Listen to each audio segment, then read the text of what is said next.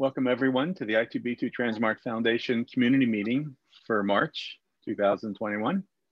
My name is Rudy Potenzo and I'll be uh, the host today. Um, our agenda, we're going to talk about, uh, first of all, the uh, upcoming community meetings uh, are, you know, we continue these meetings every month. It's the um, you're interested in presenting, we, we love to have guests uh, speaking at these meetings. And so if you're interested, please let us know. And uh, we'd be today, today is the third Tuesday. Third Tuesday, I'm sorry, third Tuesday of every month, right? Thanks, Gil. um, the agenda today uh, is here. We're going to do a, a brief uh, update. Uh, and then um, we're going to have a, a very a, a good good discussion on the 4CE program. So uh, without further ado, let me introduce Diane Keogh, the Managing Director of the Foundation, uh, to do a welcome and uh, some updates. Diane? Hi, Rudy. Um, thank you, Rudy. Hi, everyone. Um, you can go to the next slide. I am going to really quickly just um, make a couple of announcements and then introduce the folks from 4CE. So um, I want you to save the date. So our June symposium is um, going to be held virtual again, um, unfortunately this year on June 22nd and 23rd. Um, and we're in the process of putting the agenda together, um, looking for keynote speakers. We've reached out to a few people. Um, I think the thing that's most important that I wanted to mention to this group is we'd love to have some use cases be part of this. So if you have a use case or you know of an organization that has done something um, very interesting using um, I2B2 or, or, Transmart, please let us know. We'd love to, we'd love to um, really highlight that um, at our meeting. Um, so you can go to the next slide and I will introduce. So 4CE, and you can flip to the next slide, um, Rudy. So I'm really, I'm really excited um, to introduce um, the folks from 4CE to give an overview around the, um, the, the work that they've done. Um, I think most of you have received the, the um, newsletter that um, the foundation uh, uh, now produces to try to spread the information around 4CE and the work that they do. I'm not going to go into this because uh, Griffin, Shawn, and, and, Gabe will will talk to you more. But certainly look for this. I think we'll this will be at least quarterly. Um, we'll provide information around um, this the work that that they're doing. So next slide. Okay, so our our guest speakers, um, Griffin Weber. Certainly known to the, the foundation. We'll give a, an overview of overall overview of 4CE. Um, uh, Gabe Brat, who is um, you know really uh, a person who is has been he's from Beth Israel, and boots on the ground, working with COVID patients and um, and supporting this effort. Um, and then Shawn will talk about uh, validating disease um, severity, and this is a, a paper that um, he published. So without further ado, I think we'll Griffin, we'll let you, we'll stop sharing, we'll let you guys share your insights.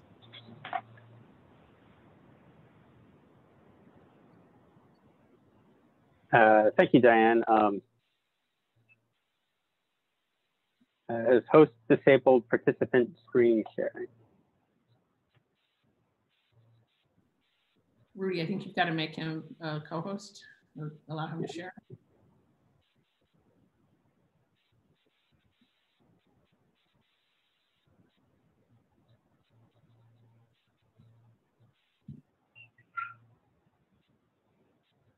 Okay. Thank you for that introduction. Um, we're going to today give an overview of 4CE. A lot of you are already familiar with it, but um, it's useful to repeat things every once in a while because it, it's grown so quickly over the past year. Um, it, it, moves quickly, may have missed some things, and to take a look at what we've been doing. I'm going to first do a brief kind of technical overview of 4CE, and then, as Diane said, John and Gabe will um, go into a couple use cases. So we created the 4CE consortium through the foundation and led by Zach Kohane out of Department of Biomedical Informatics at Harvard Medical School a year ago now, back in March of 2020. Um, at that time, many uh, national international efforts to study COVID were launching, and uh, we were involved in, in, many of those as well. Um, other federated networks as well as appro approaches to centralizing data into, um, into enclaves. And what we recognize from our many years of working with I2B2 and Transmart data is that analyzing all these um, data sets that are being collected will only work if you can have, if you can trust the data. So what we did is we engaged local experts, informatics people, statisticians, as well as the clinicians at our various hospitals in our community um, to iteratively improve site data quality, understand limitations of EHR data, and collect uh, and conduct real analyses um, rapidly on COVID-19 through a federated model and patient chart review. So our approach is to leverage the expertise that we have in all of our institutions. We have a, through our foundation, we have an academic users group of hundreds of institutions that we can tap into.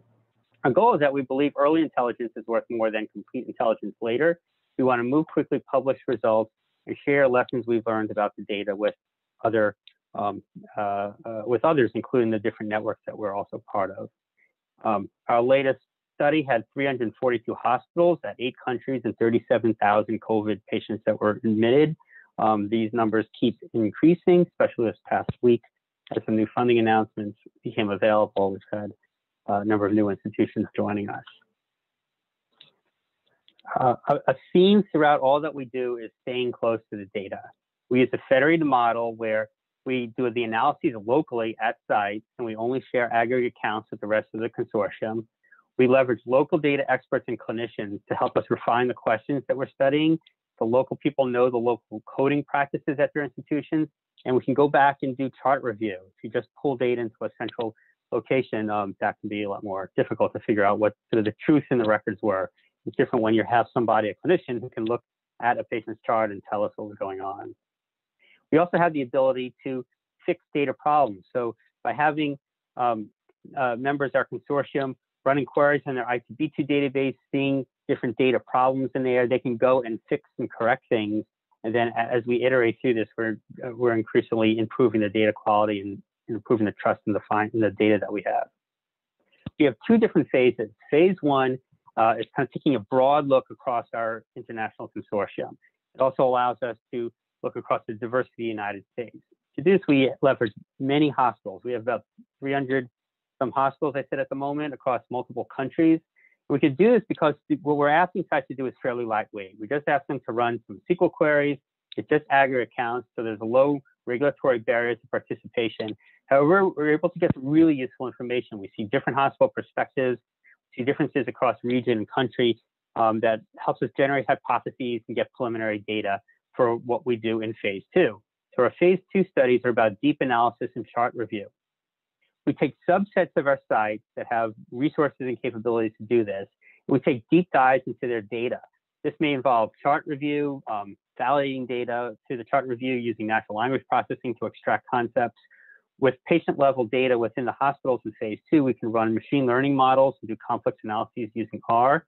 We distributed Docker image to each site. So even though we have lots of sites that have lots of different data models, I2B2, OMOP, and others, they put all their data in CSV files on a Docker image, and that allows us to have consistency across sites. So we can develop an R script for a research study, send that out to sites, and have confidence in what's going to come back from that. By staying close to the data, we've gained some um, key insights. Uh, when we work with institutions, we're including local clinicians as well as the data managers who have had years of experience working with these electronic health records. Um, we collectively review the aggregate results to identify differences. We don't just accept the data from sites. We all take a look at each other's um, records. We look at the, uh, the, the um, strange things that pop up, the outliers, and we go back and we check to make sure these things are real. Some of the things we've learned by doing this is that hospital EHRs, EHRs vary greatly in the availability, coding, and quality of key outcome measures. In the initial phase 1.0 that we started last March, we were looking at similar kind of outcomes that everyone else had, like ICU, ventilation, and death. We realized these are very um, difficult to uh, to measure in electronic health record systems because there isn't standard coding practices for these. Um, so I think Shawn will be talking about how we use um, billing codes and other proxies to get at this information. The algorithms that we developed a year ago in the spring 2020 degrade in accuracy over time.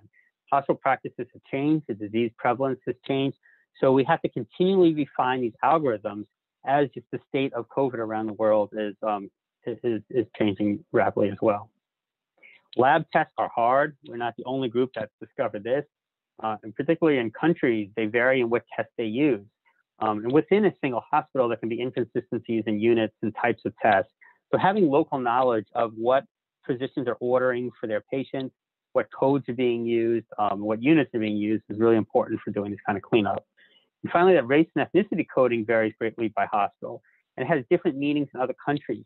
In the US, hospitals generally report the NIH categories for race and ethnicity, but that's what they code within their local EHRs. Um, there may be you know, a dozen kind of common codes that we use in something like our Shrine network, but internally within the hospitals, there may be hundreds of codes for different variations, self-reported codes, um, and there's, there's a lot of cleanup that's to be done there. When we look internationally within our consortium, there are countries in Europe that don't collect race for um, privacy sensitivity reasons, and different parts of the world have different ideas on what race means. The United States, we collect things on Americans, Indians, and Pacific Islanders, and these categories are different than the kind of categories you would think as in a different country that has um, different populations.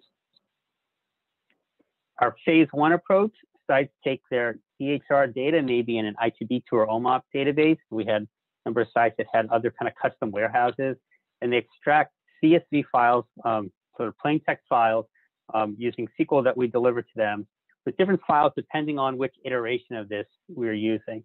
They may include the daily counts, the number of patients, the clinical course and hospitalizations, demographic date breakdowns, diagnoses and medications over time, and laboratory test values. They generate these things locally and then upload them to a validation website that we built that checks to make sure that the files are in the right format, the data types are correct in the different columns, and then it merges it and we can visualize these data um, to um, help us identify, again, if there's additional data problems in the data or help us identify um, uh, patterns in the data and analyze it and come up with our findings. We present these on covidclinical.net. Our public website has interactive visualizations and downloads of the aggregate data set. We've been very effective with this method because it's sort of a lightweight approach and getting lots of institutions on board. Our first preprint uh, came out in only four weeks after we formed the consortium. It was later published in Nature Digital Medicine. We looked at lab trajectories of 27,000 patients. And then phase 1.1 or more recent version of this, we're able to predict disease severity based on lab trajectories across um, uh, almost 350 hospitals. And Gabe will go into more detail on these studies. In phase two studies, we do manual chart review again using R scripts on Docker images um, to provide a, a, standard compute environment and, uh, and, be able to do more complex analyses on that patient level data. We still only share aggregate results, even though we have access to you know, everything that's available within an institution through the local collaborators. Essentially, we only see the, the, the results of those analyses. there's three different kinds of phase one, phase two projects that we do. We break out into different work groups. There are a number of projects that look at refining and validating our methods. Shawn will talk about our disease severity algorithm, and Gabe will talk about um, longitudinal analysis studies. We look at have projects that look at understudied or underrepresented populations, pollock havelock disease, and pediatrics and race and ethnicity.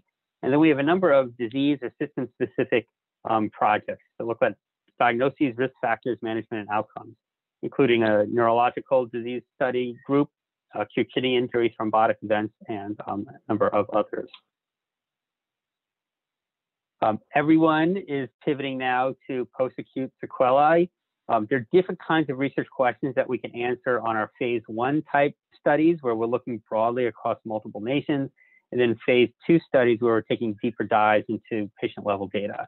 In phase 1.2, we can look at what post-acute sequelae are seen on different time points after um, initial diagnosis of COVID-19. We can see how this varies by country or race and what post-acute sequelae are seen in children. Um, we have a large number of pediatric hospitals and, and patients in our network. In phase two studies, we're looking at whether chart review can help us distinguish um, post-acute sequelae from pre-existing comorbidities and kind of cleaning up the data to figure out what's real. Um, also looking at whether post-acute sequelae are due to the virus or the treatments that are being given to patients, such as um, extended ventilation. And then disease-specific post-acute sequelae through the various domain working groups. So with that, I'll end this overview, and I think we're going to switch to Shawn.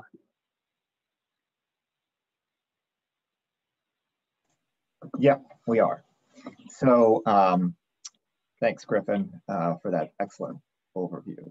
Um, and I think as Griffin was kind of leading up to, um, one of the things that was very, very valuable about doing this with all the I2B2 groups essentially across um, Europe, uh, Singapore, um, in uh, Korea. We had some that um, are now in India and Brazil, um, and um, across the US, and especially with ACT sites participating, we, we reached a great number of different and very diverse locations, and that was the strength. When you have a lot of diverse locations, though, what you have is a lot of different kinds of codes for things which are um, needs to be considered. So we had a, a problem uh, that we needed to solve because um, we wanted to understand uh, what the different trajectories for labs and courses of our patients was um, who had different uh, disease, disease severity. So for patients who are getting COVID very severely, and that's a, it's, a, it's a relatively small subset, right? It's only, you know, uh, uh, five to 10% who, you know, actually end up uh, with a really severe case of COVID. 50%, as you all know, are completely asymptomatic, right? I mean, it's really quite remarkable how uh, diverse uh, some of the presentation of symptoms are in, in COVID. But um, for those who get it severely, what is their, their, their hospital course? And so to do that, we really wanted to focus on patients who were in the ICU or died. Um, and the problem was that um, it wasn't as simple as it sounds because most of the hospitals weren't getting good indicators of whether patients were in the ICU. Um, ICUs not only were, you know, in, in, the heat of battle, kind of being managed all over the hospital, not just in the typical ICU locations, but also it takes a while for codes to come in that say people are in the ICU. It's the billing codes, and that's done with abstraction and so forth. And so it takes a while.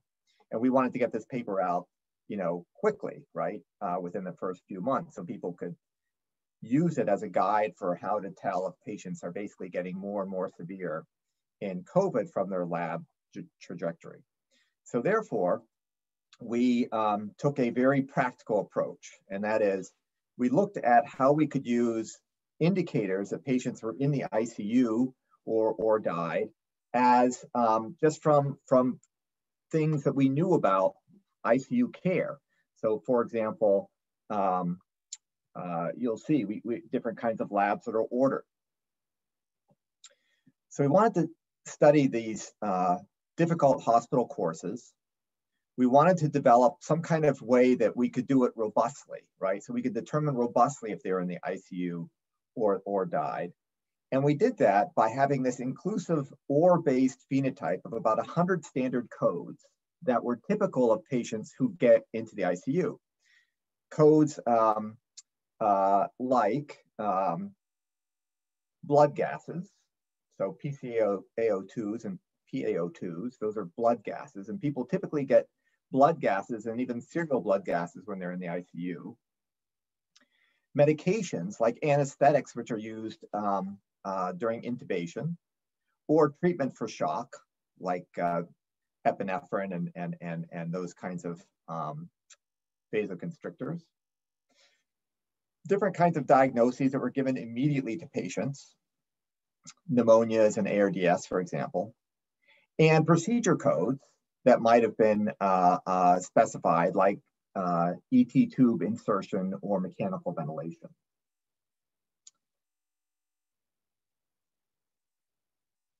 And so to our to, to the credit of, of, of especially Jeff Klann, who organized much of the validation, but of course also Griffin and Gabe and uh, everyone who basically participated in this um, uh, consortium, we were able to actually even produce the, the very logic that we used to determine if these patients were um, severely affected by COVID as its own paper, and it can be used Um, and it is being used as a, as a way that uh, across the country, folks can now determine severity without waiting for specific uh, ICU codes to come in.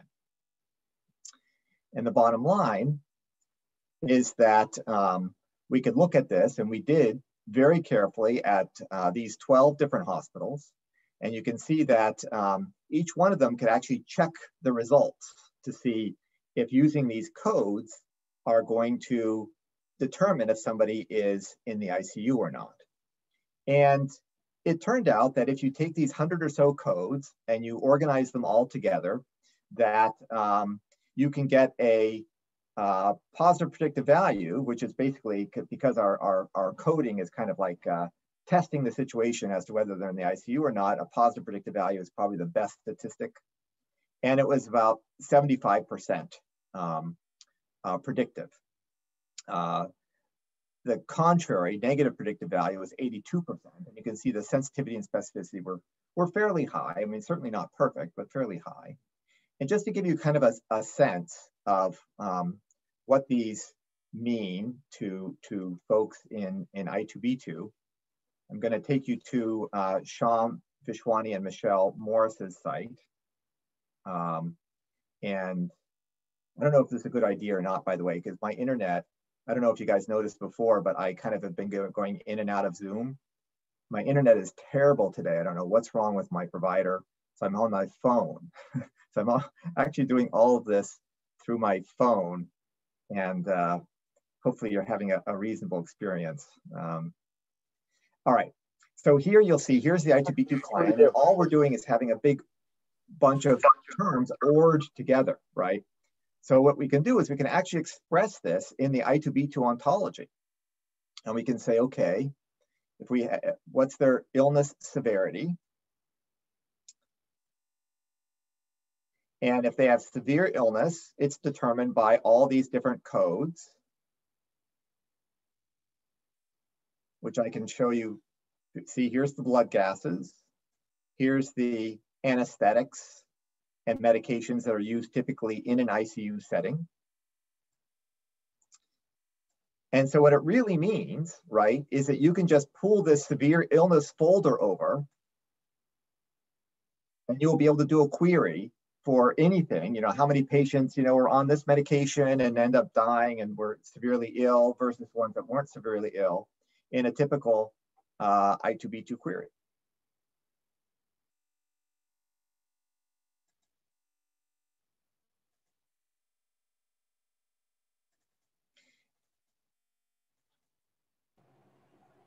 All right. Well, thank you, Shawn. I think wait, we done wait, or wait, Dave, no, I, I, it's my. I'm sorry. My internet's kind of like really crappy. I'm really sorry about that. It's um, right. I waited. I waited for a few seconds. I thought, well, maybe he's done. uh, just a couple more. So, um, so, but I just wanted to get back to this and show you that that query, you now know what the sensitivity and specificity and positive predictive value and negative predictive value are of that query. I mean, it's really quite amazing in, a way, right? When you think about it. Um, that a simple query like that can you can really say exactly what its predictive value is. This slide just kind of gives you a little bit of uh, the substance behind it. It's like you might be questioning, well, how much does each term contribute, right? I mean, it seems like everybody in the should get a blood gas that's in the ICU, and this is distributed over lots of different groups. And you can see that some groups have a lot of blood gases in their medical record, but a lot of them don't, right? So that some of the shorter bars, I don't know if you can see my, oops, going the wrong way. Some of the shorter bars, they, they didn't have blood gases in their medical record yet, and they relied on other parts of that OR statement. So that having a lot of terms in that OR, OR statement was really important. Um, and for death as well, as you see there on the right, and for ICU and DC on the left. And you might say, well, shouldn't we just take a machine learning approach to this? Because you know we could easily derive this. Not you don't have to go through all this this this you know process of understanding the medical record. You can just do machine learning and figure it out what occurs commonly in the ICU. And the answer is kind of, but the problem is that you get a lot of stray terms like this chlorhexidine gluconate, which is a, a mouthwash, right? And it's just part of the order set for the Mass General Brigham, which is what we did this uh, machine learning for, but it gets very, it, it very much overfits many terms and so forth, such that um, you can't use it generally across, you know, the 180 hospital network that we have. And then you can even, and we're just doing this now, using hospital dynamics to figure out things like who was actually admitted for COVID and who was admitted, admitted routinely. You can go to the, the, ICU even though you have a routine admission because, you know, if you have surgery, you're, you're, you're, you're. And you can actually tell that by just the order of tests, right? Just test orders. You can differentiate who's COVID related admission versus a routine admission. So you can use, you can really expand on this and do more and more things using this very approach of just understanding the hospital, understanding how people are doing order sets and so forth to really get a very nice definition. So takeaways are, we need this expert defined proxy uh, uh, for, for defining these kinds of ways that we can um, uh, do queries in the medical record accurately. And we confirm it by chart review. Um, there's a lot of coding differences, and so it's very important to have these, uh, a lot of different codes considered when you're developing definitions like this. Um, Site ICU data, if you went by CPTs, you might say, well, I'll use a CPT. Well, it was, it was terrible actually from the hospitals, uh, about 50-50 uh, if you use CPT codes instead of our coding system. And um, be careful with things like machine learning, which are potentially non-generalizable, right? and might give you some very um, uh, overfit solutions. Um, so using uh, Gabe, for example, to uh, tell you what uh, stuff is uh, happening in the ICU and, and base your, your, your, your knowledge off of that turns out to be a good idea. All right, so thank you. There you go, Gabe. All right, thank you, everybody. Uh, my name is Gabriel Brat. I'm, I'm a surgeon and intensivist at Beth Israel and one of the faculty at DBMI. Um, I'm going to talk a little about some of the findings that we have from our work.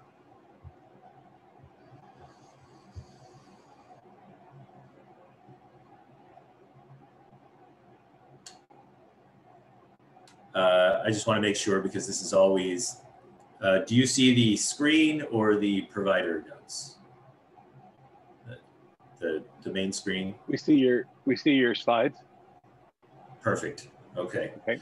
Thank you. Um, so uh, as Griffin and Shawn mentioned, uh, for um, as of January, we had uh, eight countries. We now have a couple more that have so joined um, our effort. Uh, there are about 350 hospitals that are involved uh, across the world.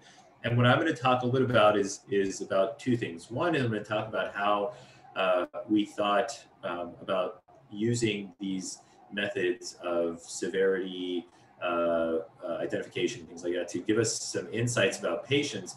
Um, but also, I'm going to tell a story of one specific lab as to how uh, we've been able to, to use data around that to, to really think through um, some of the questions that we have around COVID 19. So um, using severity um, as we developed allowed us to start to see the differences that existed in, in countries as it relates to the number of patients who ultimately became severe. You can see that although some of these patterns are relatively similar, each country had its own set of characteristics, its breakdown of patient populations, and even the way in which demographics played a role in those patients who were likely to become severe. And what we did is we took that data and uh, that, that metric that, that uh, we discussed previously, and we used it to uh, evaluate the, whether any specific um, lab or even a combination of labs would be most effective in defining uh, severity. So if you look at how we as clinicians have used some of these laboratory values, in particular things like D-dimer, C-reactive protein, um, and others were used as thresholds for identifying a patient who might need to be transferred to the ICU. And so we asked the question, do we, can we do a, a good job of identifying patients who are likely to require these kinds of invasive uh, treatments, i.e. intubation, uh, shock management, um, and uh, um, uh, and others for the purposes um, of kind of having these thresholds. And what we could show is that yes, um, there are differences, and um, using our international data, we were able to get a sense of some of the AUCs related to some of this work. As you can see, these lines are very different, but because of the uh, variation that exists internationally, you can see that some of the AUCs um, are better than others. But overall, even by the use of individual labs, you can show that you can de define populations that are likely to uh, move on to severe disease using even uh, simple laboratory tests. And what I thought was particularly interesting about this work was that not only were we able to do this at, uh, at the individual level uh, or at the hospital level, we were also able to then uh, regress this across different countries and different regions. And if you look at most work, uh, there's a, for example, a living meta-analysis on uh, in the BMJ right now that evaluates the use of risk prediction scores. Um, each these scores are based on the data that an individual hospital, even a country has available to them. And what we were able to do, which I think is very unique, is we were able to take data across countries and evaluate whether these tools, these risk scores that we developed would actually function um, across uh, international borders. And we showed that with relative consistency, data from Europe and North America was uh, relatively was the same, which to me speaks to the fact that um, the physiology of many of these patients um, is similar as, as it relates to their trajectories of their laboratory values. And so I want to talk about one specific example of what we were able to do with this work. So in um, March, when we started pulling data together, uh, we noticed that uh, the data that you would see across uh, creatinine, for example, um, had very different outcomes, had very different trajectories for different countries. So if you look at France, France had um, what you would expect to see, which is over time patients who are in the hospital tend to have higher uh, creatinine levels. Whereas some of the other countries, in particular places like Italy, the data was very different. And um, there are a number of possible causes. We uh, those in, in our digital Nature Digital Medicine paper. Um, but this finding, for example, is, is really fascinating because it, it, it begs the question of what is different between these countries, whether it is the treatment of these patients, which is most likely, or whether it's the physiology the patients are presenting to the hospital. And so we, we've kind of continued to think through that question. And uh, our, one of our groups, the acute kidney injury groups, has really kind of uh, focused on trying to understand why groups why patients at different hospitals have very different outcomes as it relates to acute kidney injury after COVID-19 infection. And just to give a small uh, visualization of what they're finding is they're finding that one of the things that really drives patients to have or, or is associated with very significant increases of creatinine, even among patients with severe COVID-19, is the use of these novel COVID-19 medications. Now, the causality associated with this is, is obviously not clear at this time. But the fact that we see these very significant differences among these populations allows us to start to ask the kinds of questions that international comparisons uh, enable. The other thing that we've been doing is, is evaluating the longitudinal characteristics of this. So you can see here, this is uh, looking at creatinine um, uh, trajectories early in the uh, pandemic, i.e. Uh, March, April, May, versus late in the pandemic, this is now November, December, and January. And what you can see is that the, the characteristic uh, trajectories of this lab have changed significantly uh, where patients who are presenting um, are no longer having the kinds of trajectories they were having before. And this is all patients, of course. Um, and uh, but you can also see some of these changes in severe patients. And so this is the same lab looking at it in a different perspective. And you can see that when we look at patients who have severe disease in the center space, the center figure, you can see that there are significant changes from early to late waves as it relates to their presentation. And so these are some of the things that you can see where uh, in different countries, the, the change in the presentation of these patients is actually significant. In, uh, in this case in particular, at least what's most interesting to me is that um, uh, in particular, you can see that some of the differences, while uh, some of them are significant and some of them are not, you can see that there are overall similar trends as it relates to some of these countries. The other thing that we've been able to do, which uh, has really been spearheaded by Tianxi Cai and her group, is to uh, start thinking about reorganizing uh, whether the outcomes of these patients are based on their physiology or the treatment effects. And so to do this, one of the things that we did was we built essentially a novel type of risk score where we looked at the, the distribution of patients across timelines in the temporal fashion as to whether they uh, developed, um, whether they were high risk, medium risk, or low risk as it related to their likelihood of death. And what you can see is when you trained a model using early data, that model shows the, the characteristics of these patients um, don't change very much with regards to uh, the breakdown, but the event rates start to change significantly. And one in particular is interesting here, where you can see that in Bordeaux, um, the, uh, the model had a very different effect when trained across these different institutions uh, relative to the data that we see at MGBBI and then and Northwestern. So overall, what this really kind of uh, highlights are the kinds of questions that we can ask on a patient level basis based on the, the data that we're getting. Now, obviously, we as a VET are still working through some of the um, some of the ramifications of what we're looking at here.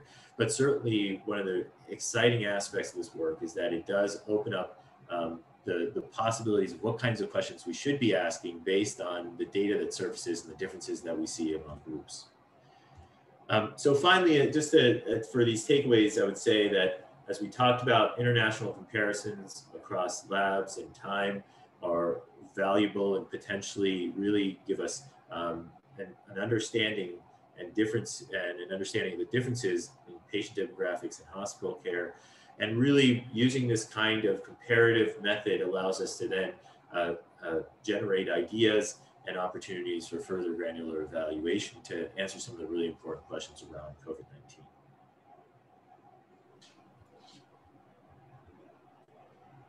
That's all I have.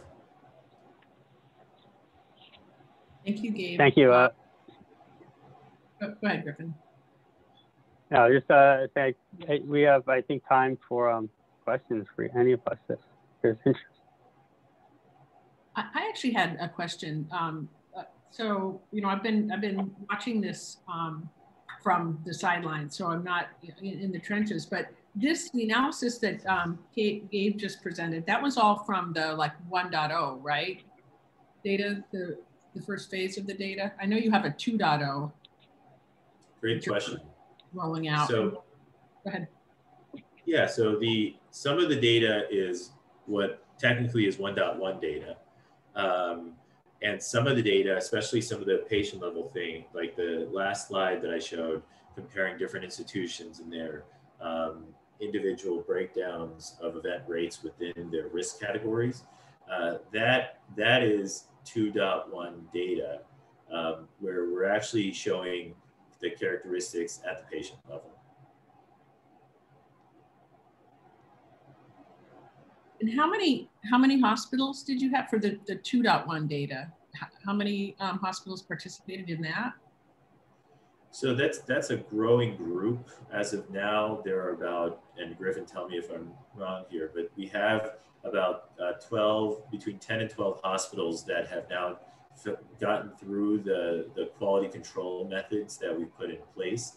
We've had a number actually in the last couple of weeks who've actually, because of the opportunity that exists of being involved in these granular analyses, they have managed to do the work that is necessary to make sure that the quality of their data is sufficiently high so that they actually pass the quality control measures. I'll, I'll point out that there, there's a little bit of difference between a site and a hospital. Um, we, we have hundreds of hospitals in our network, but often there'll be one person who's collecting data from a bunch of hospitals. So I think we have a dozen or so um, sites, which actually may map to many more hospitals than that. It's um we we have these again these kind of two pillars phases, phase one and phase two.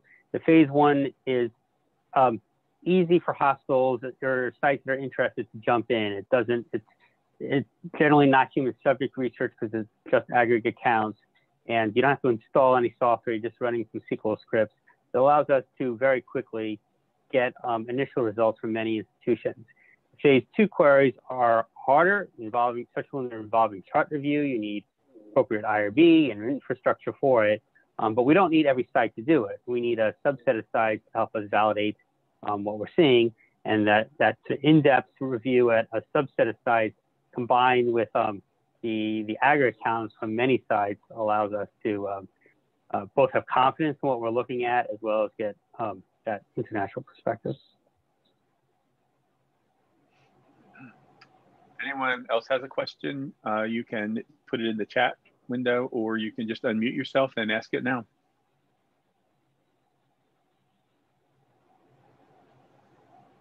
Can I ask another question? Just, um, I don't mean to take up all the question time, but so um, Griffin, you said that um, you really only need a subset of, of um, hospitals to participate in the, the more extensive 2.1 to help with the validation. So I, I actually didn't realize that. So that's that's actually pretty neat because I, I what I what I observed is you know there's other groups out there doing this type of research and um, without that validation and without that um, possibility of going back and doing chart review, it seems like people are getting stuck. So um, maybe maybe Shawn. they're, they're gonna be stuck, but you know the the almost greater danger is just not knowing what you don't know. You know, if, sometimes if you start merging data together and taking it out of context, you're sort of uh, thinking that that's the truth.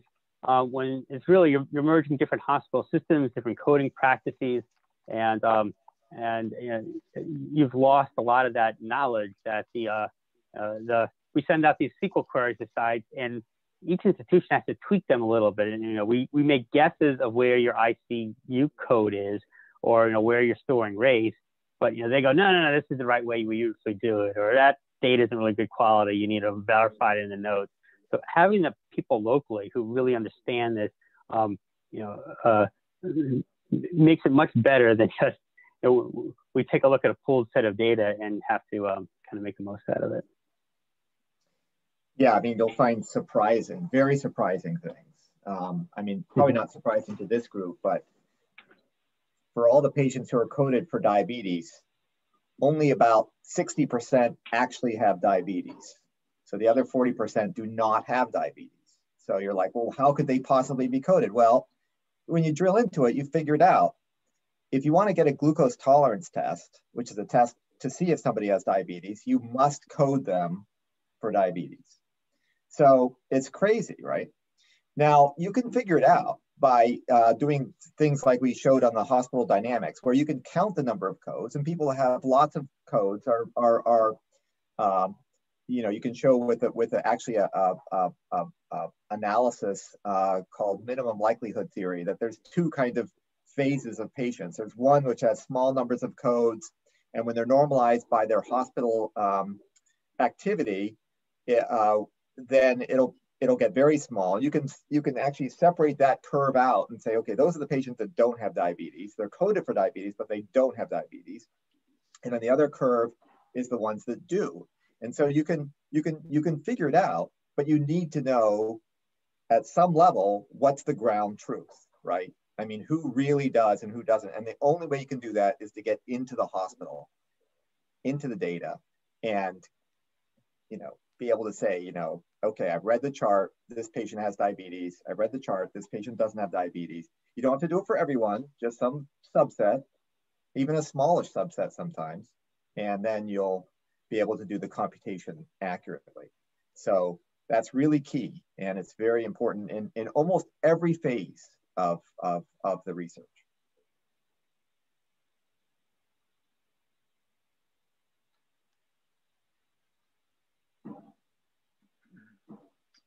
I'll just make a, another um, comment. Um, so I, you know, I've been I've been at this for a long time, and I've been working with the I2B2 team since the you know the since before they even wrote the grant for I2B2 um, and working at hospitals.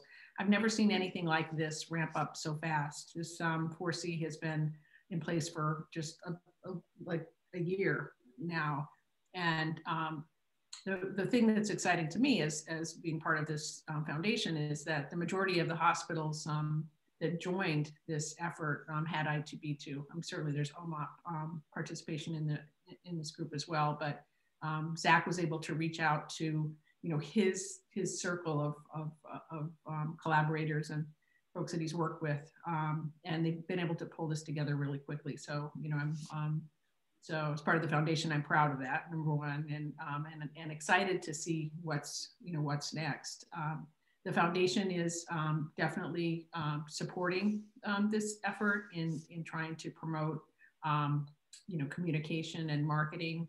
So we're, we're constantly, you know, sending this the information around this through our social media channels. So certainly, you know, uh, you know, follow us on social media, you know, retweet this stuff. I think the more um, people hear about this and, and understand it, I think um, the more successful it's, it's going to be um, moving forward.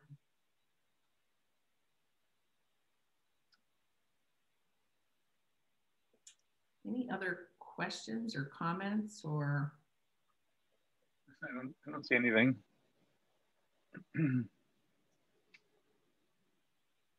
closing okay. Well, yeah. From Gabe Shawn or Griffin, or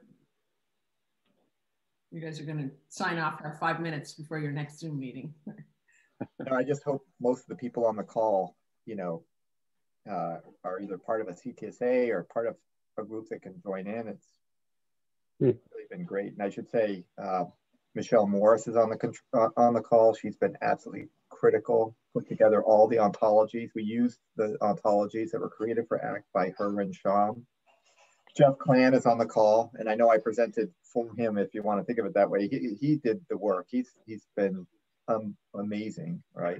In terms of you know, and um, a lot of that uh, infra, infrastructure and and is to his credit.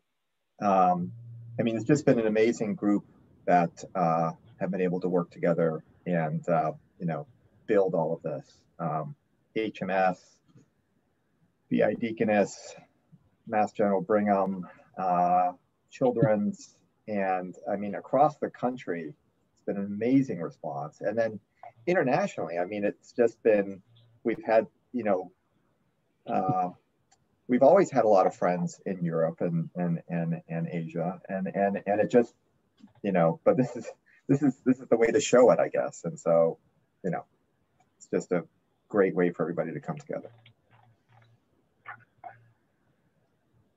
A reminder, the, the slides and the recording um, will be on the foundation website within the next couple of days. So certainly if, um, if there's other folks that you want to um, have uh, listen to this, um, that will be a, that resource will be available as well.